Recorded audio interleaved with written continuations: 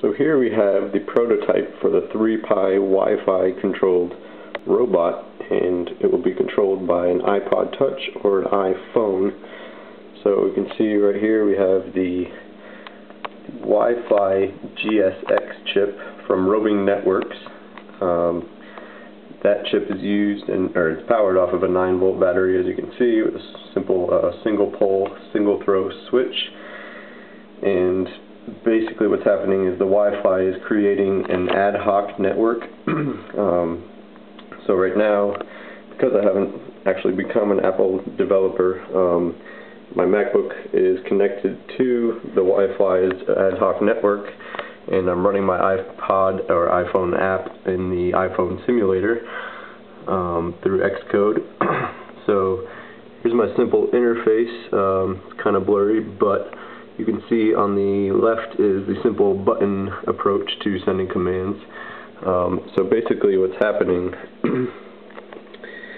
is uh, I'm connected to the, the, the WiFly over the ad hoc network it's creating and when I send um, commands through this iPhone simulator they're actually going through a socket to the WiFly and then the WiFly in turn just automatically relays that information over the UART uh, serial interface. So you can see these four cables coming off of the WiFly and those are the RX, TX, uh, ground, and uh, V or VCC which on the WiFly is 3.3 volts.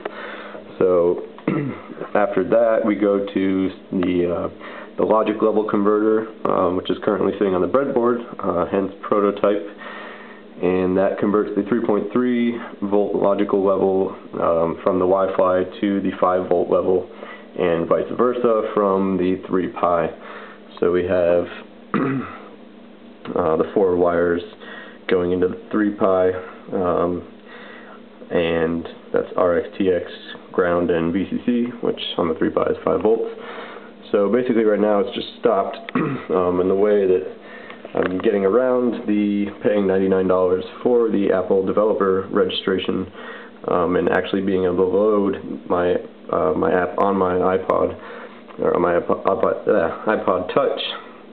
Um, right now I'm just running iSimulate, which is a $16 program that you can buy um, through the App Store. It's kind of blurry right here, but basically what's happening is that my iPod Touch is also connected to the same ad hoc network that um, my MacBook is, which is being created by the WiFly.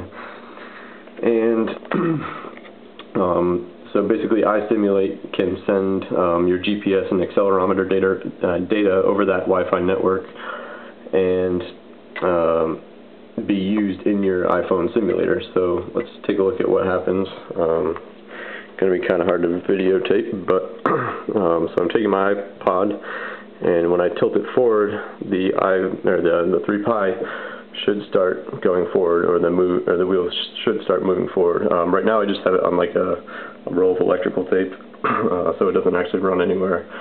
Uh, because we're still in the beautiful prototyping stage, but uh, here it goes. So you can see as I tilted it, as I tilted the iPod, the 3Pi is actually moving forward, and then when I um, keep the iPod level or turn it back level, the 3Pi stops. When I go backward, the 3Pi goes backward. When I turn or tilt the iPod to the right, the 3Pi will start slowly turning to the right. You can't really tell obviously, but each, uh, both of the wheels are now moving in the opposite direction, so since it's turning right, the left motor is turning forward and the right motor is turning backwards and then stop back at the let's call it the equilibrium point. Um, so now when I turn tilt or sorry tilt the iPod to the left the wheels will again uh, go in opposite directions but in the opposite from turning right. So that's the basics um, of how my prototype system is working. Uh, hopefully I can pony up the $99 so I can actually get this app running on my iPod Touch. Um, but that's it.